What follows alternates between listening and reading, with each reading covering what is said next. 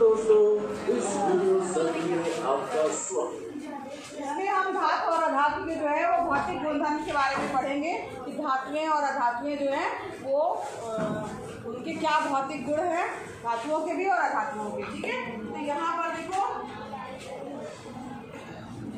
धातु में क्या विशेषताएँ हैं, अधातुओं में क्या विशेषताएँ हैं उनमें क्या अंतर है तो हाँ।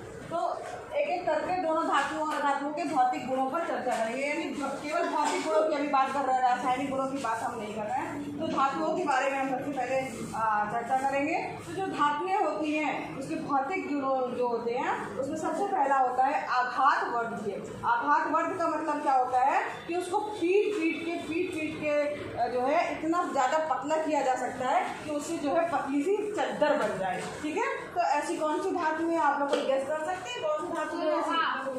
लोहा।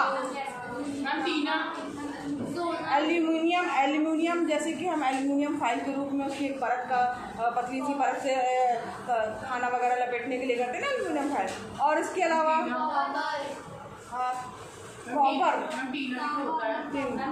तांबा वो तो कम है जो देखो हाँ सोना।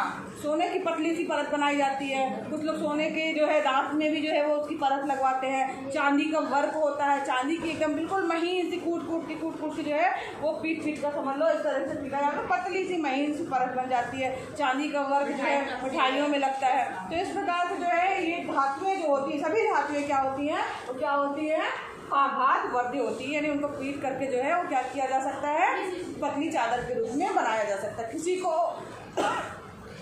कोई ज़्यादा हो मतलब आराम से पतली चादर बन जाता है कोई थोड़ा जो है उतना अच्छे से नहीं बनेगा टूट जाएगा। तो सबसे ज़्यादा सोना और चांदी जो है है ना पीट पीट करके पतली चादर के रूप में बनाया। सोने को और चांदी को जो सबसे ज़्यादा आघात अ, वर्धित धातु है ठीक है? तो इसका उपयोग किया जाता है। एल्यूमिनियम फॉयल का भी प्रयोग करते हैं खाद्य पदार्थों की पैकिंग के लिए हम जो है इसका प्रयोग करते हैं। ये हो गया हमारा पहला गुण जो था आपका आघात वर्धनी का। ठीक है? तो यहाँ पर, ये सबके घरों में, देखा होगा, मम्मी लोग खाना जो है इसमें जाते हैं। ये लपेटते हैं। दूसरा चीज़ है दूसरी है तन्यता ठीक है? तो ये तन्यता क्या चीज़ होती है? तन्यता मतलब होता है तन्ना त- तन्ना समझ लो ना?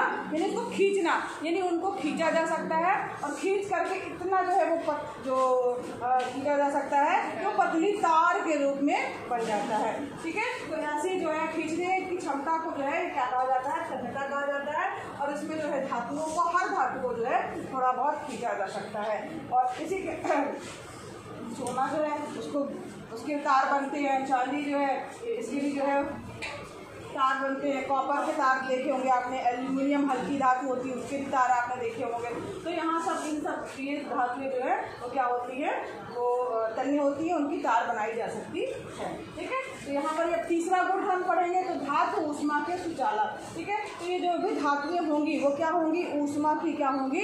सुचालक होगी। यानी कि उसमें ऊष्मा जो है एक जगह से दूसरी जगह जो है वो पहुँच जाएगी। कैसे होगी? इसके लिए हम एक्सपेरिमेंट करते हैं। धातुओं में ऊष्मा का संचालन कैसे हम हो सकता है? तो उसके लिए जो है यहाँ देखो एक एक्सपेरिमेंट करते हैं। इसमें जो है एल्यूमिनियम की तार ली है हमने एक स्टैंड में उसको प्लेट की सहायता से फंसा दिया। तार है, ठीक है? अब यहाँ पर हमने मोम की सहायता से क्या लगा दिया है? एक आलपिन लगा दी है। अब इस आलपिन इसका यहाँ पर साइड में एक बर्नर रखते हैं और उससे आग से गर्म करते हैं। देखो, ये दूर है। हम गर्म यहाँ पे कर रहे हैं। ध्यान दीजिए, गर्म यहाँ पे कर रहे हैं तो यहाँ की चीज़ें खाली गर्म होनी चाहिए ना। लेकिन आप देखेंगे थोड़ी देर बाद वो मोम पिघल करके वो पेन जो है वो नीचे की ओर गिर गई। क्यों गिर गई? गर्म तो यहाँ होना चाहिए था, लेकिन गर्म यहाँ ना होकर के यहाँ इसकी गर्मी यहाँ तक हो गई। यहाँ तक पहुँच गई। तो यहाँ पर होता क्या है कि एल्यूमिनियम की तार के जो कण होते हैं, उसमें जब आग एक जगह पर जाती है तो उसके कणों में हलचल होती है, उसमें जो है वो गर्म होते हैं और वो आयनित हो जाते हैं और उसके बाद जो है, वो दूसरी उनको भी जो है हलचल कर दे करते रहते हैं। तो जैसे यहाँ के कण है तो ये हलचल करते करते यहाँ यहाँ से यहाँ तक यहाँ तक पहुँच जाएँगे, ठीक है? ये इस तरीके से गर्म होते होते यहाँ तक पहुँच जाएँगे, एक सिरे से दूसरे सिरे तक पहुँच जाएँगे। जिसके कारण क्या होगा कि यहाँ वाला सिरा भी जो है, वो गर्म हो जाएगा, यहाँ पे भी उष्मा का जो है वो संचालन हो जाएगा। तो इसके कारण ही वो पिन जो से लगी थी, वो हो जाती है, गिर जाती है। फिर यहाँ पर दो ही ऐसी एक मिनट। यहाँ पर जो है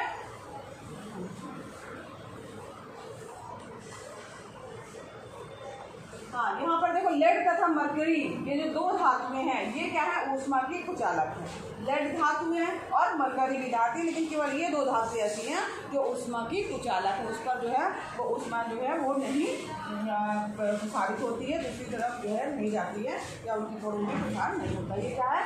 ऊष्मा के कुचालक बाकी सभी धातुएँ क्या है? ऊष्मा की कुचालक है। तो ये हमारा तीसरा गुण था। अब हम बात करते हैं चौथे गुण की। तो ये धातु विद्युत विद्युत के भी सुचालक होते हैं? गुड कंडक्टर होते हैं, ठीक है? तो यहाँ पर जैसे इसके लिए आपने देखा होगा कि जो बल्ब वगैरह होता है, उसमें टंगस्टन धातु प्रयोग की जाती है चांदी चांदी की भी धातु जो है चांदी हो गया कापर हो गया, सोना हो गया, एल्यूमिनियम हो गया टंगस्टन हो गया, ये सब क्या है? वो विद्युत के सुचालक है गुड कंडक्टर हैं। यानी कि अगर उसमें लाइट है, बिजली है तो उसके तार जो है, आपने भी देखा होगा कॉपर वायर बनते हैं एल्यूमिनियम के तार बनते हैं ना? लाइट वो खम्भों में जाने के लिए आपने देखा होगा छोटे बड़े एल्यूमिनियम के तार लगे रहते हैं घरों में जो होता है बिजली कनेक्ट उसमें विस्तार का पांचवा इनका गुणधर्म है, वो क्या होती है? धातुएँ जो है, वो चमकदार होती है चमक होती है ना चांदी में भी चमक देखी होगा आपने कॉपर में भी, सोने में भी, यानी धातुएँ क्या होती हैं? एक चमकदार जो है उसमें गुण होता है, उस, उसमें जो है शाइनिंग होती है। ठीक है? चांदी कॉपर सोना इन सभी में जो है तो क्या होती है चमकदार का चमकती है वो चमकदार का गुण होता है।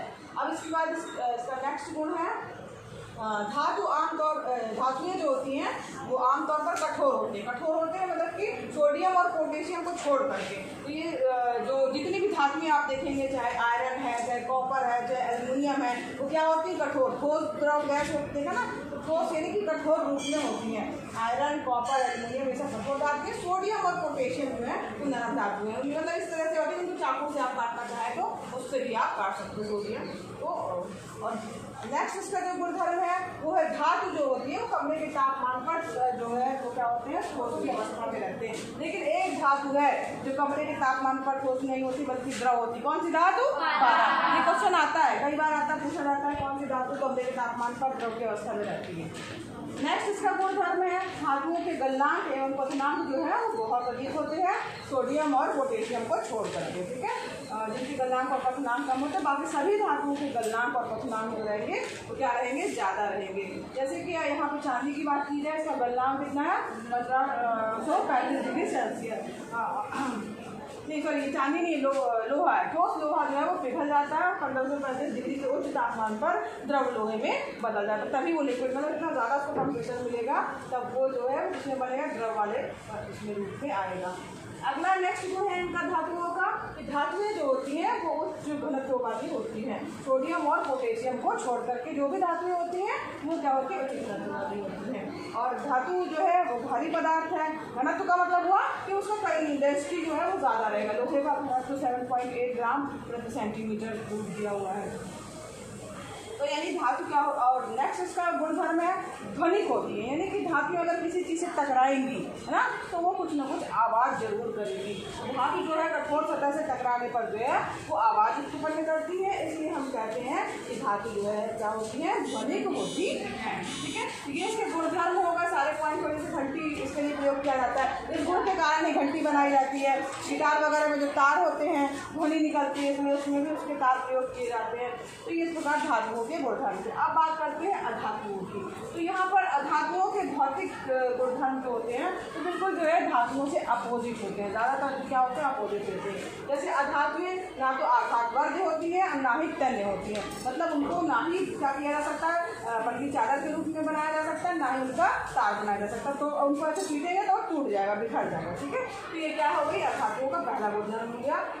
जो कि इसको अलग अलग भी लिख सकते हैं दो भागों में कि धातु वर्तनीयता नहीं होती है, उसमें और ना ही उसमें तन्यता होती है अधातु में। फिर अधातुएँ जो होती हैं, विद्युत की और उष्मा की, जो है वो क्या होती है? कुचालक होती हैं। ठीक है? तो यानी ना ही उसमें से विद्युत बह सकती है, ना ही उसमें से ऊष्मा एक स्थान से दूसरे स्थान पर पहुँच सकती है। धातुओं की बात हो रही है, और ये अधातुओं की। इसमें इलेक्ट्रॉन जो है वो स्वतंत्र अवस्था में आ जाते हैं और फैलते हैं, उस इलेक्ट्रॉन को भी एक्टिव कर देते हैं। सल्फ़र और यहाँ पे देखो दो फास्फोरस ग्रेनाइड जो है अधातु में इनको छोड़ करके बिजली का अच्छा संचालक जो है, अब यहाँ पर अधातुओं में ग्रेफाइड की अगर बात कर रहे हैं तो ये इसमें देखो यहाँ पर जो ग्रेफाइड है, ठीक है? तो ये सिर्फ़ ये अधातु है, जो ग्रेफाइट का है, एक अधातु है। पेंसिल वगैरह आपने देखा होगा उसमें जो काली से चीज़ दिखाई देता है, नोक, वो वो ग्रेफाइट का ही होता है।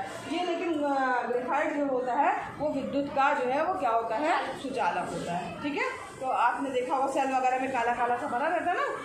हाँ तो यहाँ स्वतंत्र इलेक्ट्रॉन जो है, इसमें होते हैं, जो कि एक जगह से दूसरी जगह पर विद्युत का चालन की बात कर रहे हैं। ये क्योंकि जैसे कुछ ऑप्शन होता है ना कि यहाँ कोई अलग चीज़ होती है। फिर अधातुएँ जो होती है, चमकदार नहीं होती। जबकि धातुएँ क्या होती है? चमकदार होती है। ठीक है? इसकी सतह चमकीली नहीं होती है। सल्फ़र हो गया, फास्फोरस हो गया। ठीक है आयोडीन एक ऐसा आधार है जो चमकीला होता है। अब इसमें भी कोई कुछ ना कुछ ऐसी चीज़ें होती हैं, कोई अलग चीज़ होती है जिसमें वो विशेषता नहीं होती तो उसको याद कर लीजिए। जैसे आयोडीन की अगर हम बात करें तो ये एक ऐसी अधातु है जो कि क्या है चमकीली होती है। बल्कि सभी अधातुएँ क्या होती है चमकीली नहीं होती। केवल धातुओं में ही चमक पाई जाती है। मगर आयोडीन ऐसी अधातु है जो कि क्या होती है चमकीली होती है। ठीक है? इस प्रकार से जो है अधातु जो है आमतौर पर मुलायम होते हैं, है ना? तो जब वो क्या थे कठोर थे, लेकिन हीरा हीरा भी क्या है ये? अधातु धातु नहीं है वो, लेकिन वो सबसे ज़्यादा कठोर होता है। तो वो उसका ऑप्शनल है कि भाई हाँ वो हीरा बहुत कठोर है। अधातु कमरे के साथ पर ठोस द्रव और गैस हो सकती है, ठीक है? में ठोस भी हो सकती है द्रव भी हो सकती है और गैस भी हो सकती। है जैसे ठोस में कार्बन सल्फ़र फास्फोरस द्रव की बात करें ब्रोमीन हो गया, गैस के रूप में हाइड्रोजन ऑक्सीजन नाइट्रोजन क्लोरीन ये सब जो है, वो इस रूप में हो सकते हैं अधातु ठीक है? तो यहाँ पर जो है इस नेक्स्ट इसका पॉइंट है कि जो अधातुएँ हैं, उनके कठिनांक और गलनांक क्या होंगे? कम होंगे, ठीक है? लेकिन केवल हीरे को छोड़ करके, ठीक? क्योंकि ये हीरा जो है सबसे कठोरतम अधातु है अधातुओं का। घनत्व की बात करें हम तो इनका घनत्व क्या होता है?